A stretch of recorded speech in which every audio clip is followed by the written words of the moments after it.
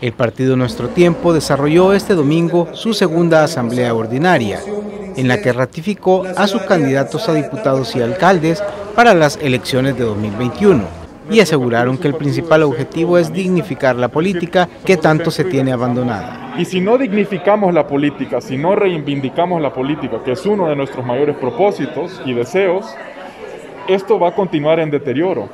Eh, nuestro tiempo, a través de su oferta electoral, a través de su decisión de participar, está reivindicando eso, la importancia de la ciudadanía de participar.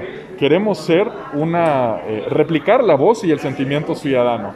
Para eso tenemos que ganarnos su confianza el candidato a la alcaldía por San Salvador, Héctor Silva, consideró que la democracia salvadoreña está bajo amenaza. Y es nuestra responsabilidad proteger y resguardar esa democracia a través del liderazgo de una oposición, como él decía, propositiva, valiente, pero también constructiva. De hecho, parte de lo que nosotros vamos a hacer en este momento, aparte de analizar la situación en la que estamos, que como les digo, es sumamente trascendental, eh, Vamos a trabajar también en tres meses de trabajo para generar algunas de las propuestas que nosotros iremos presentando en los próximos meses como parte de nuestra agenda legislativa y municipal. El presidente de este instituto político, Juan Valiente, mencionó que competirán 55 candidatos a diputados y 7 consejos municipales, entre ellos Huayúa, San Miguel y 5 de San Salvador.